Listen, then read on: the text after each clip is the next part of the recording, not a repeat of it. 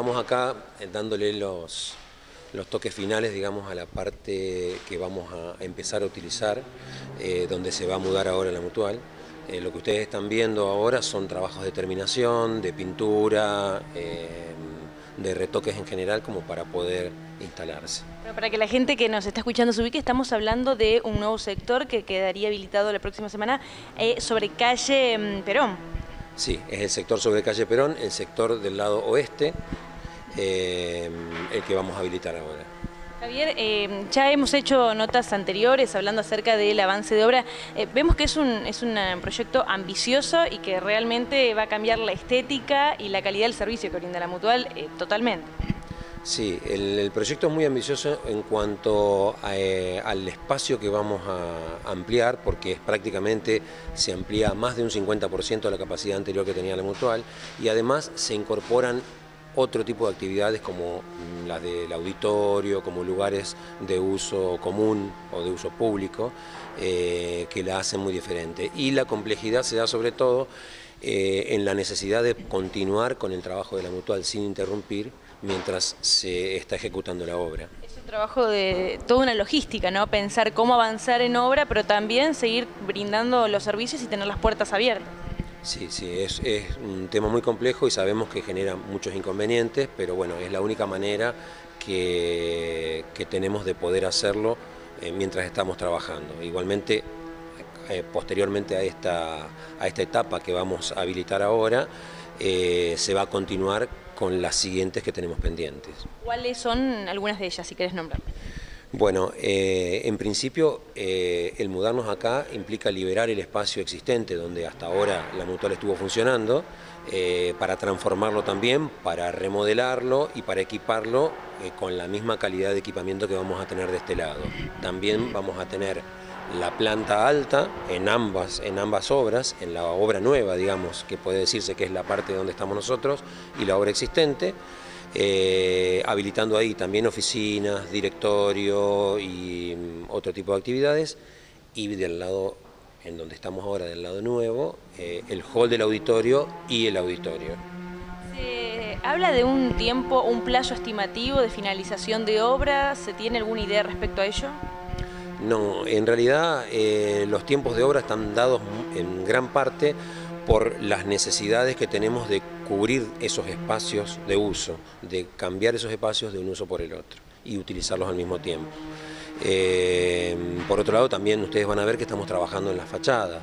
La fachada es lo que ahora se va a ver la transformación de la fachada en general de los dos edificios, o sea, del existente y de la parte ampliada, que son eh, un sistema de fachada ventilada que se va a aplicar sobre esa estructura que ahora se ve eh, sobre ambas calles, sobre Rivadavia y sobre Perón. Hablando acerca de lo que será la mudanza eh, específicamente del edificio donde ahora funciona, está funcionando la mutual, bueno Claudio, queríamos saber eh, un poco cómo va a ser esa mudanza, a partir de qué día y, y, para ubicar un poco a los socios y clientes de la mutual que quieran venir en los próximos días, ¿dónde deberán acceder? Buenos días.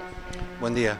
Bueno, sí, eh, como decía Javier, la semana próxima los socios ya deberán ingresar en esta parte nueva, eh, donde bueno, está ubicada al lado del centro, del centro comercial y bueno, van a contar con los mismos eh, servicios que, venimos brindando, con un acceso a través de un turnero, bajo la misma modalidad.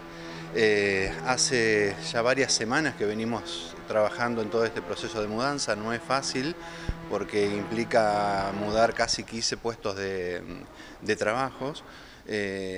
Si bien esto va a ser en forma transitoria para que podamos terminar la parte vieja, eh, toda la parte constructiva, terminar ese espacio para después bueno, llegar al final de, la obra, que es lo que estamos tanto ansiando.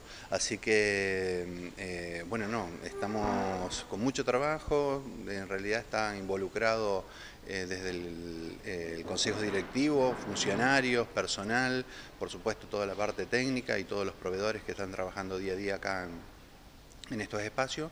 Así que bueno, estamos preparando todo para que el día lunes eh, atender al, socio de la mejor manera. Sin duda quedarán algunas cuestiones por ir resolviendo durante la marcha, pero bueno, trabajamos en eso, en programarlo de la mejor manera, lo más ordenado, coordinarlo para que los servicios se sigan brindando de la misma, de la misma manera.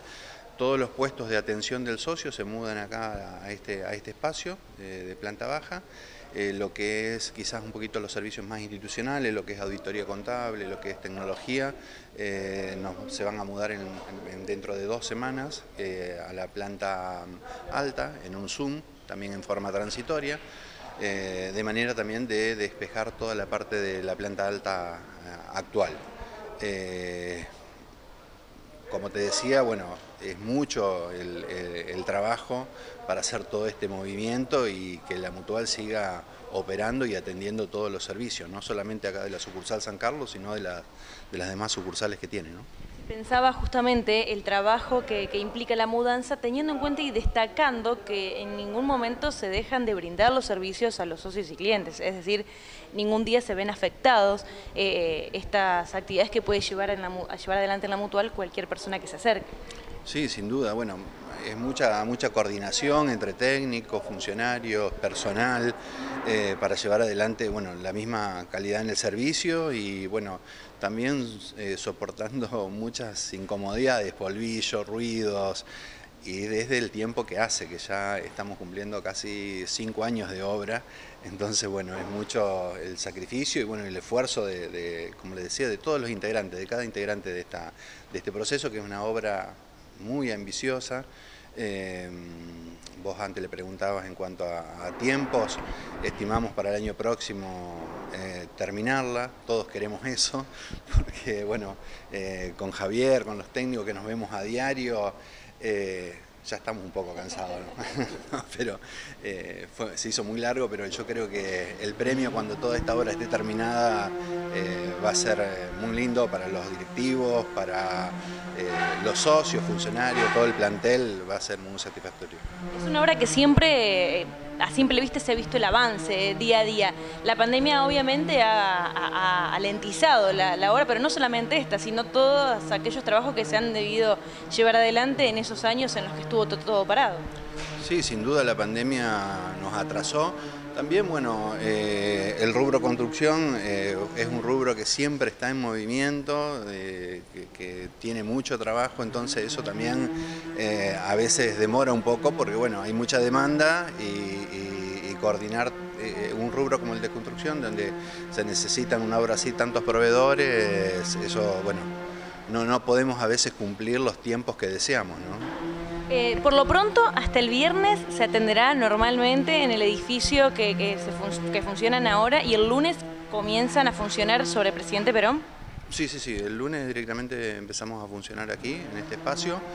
Eh, como te decía, van a estar todos los servicios en un mismo lugar, vamos a estar un poquito apretados, pero todos van a estar en este, en este espacio, incluso eh, tuvimos que trasladar el sector de cajas, que ya está terminado, está funcionando actualmente, tuvimos que generar un espacio nuevo, porque bueno, quedaba en la parte, eh, es un sector que queda en la parte vieja, entonces bueno, tuvimos que adaptar todo el espacio de, cajas a este, a este espacio acá, a este lado, en forma transitoria, ¿no? Pero bueno, incluso turismo, que lo tenemos en planta alta, también va a funcionar aquí, tarjeta, eh, toda la parte de ahorros, préstamos, todo va a funcionar en un mismo espacio. El espacio cuenta también con oficinas privadas, donde eh, la parte gerencial ya, va a tener también su espacio. Y solamente eh, tenemos lo institucional en, otro, en una planta alta. Pero bueno, no, tiene atención, digamos, el socio, sino es un, sector interno.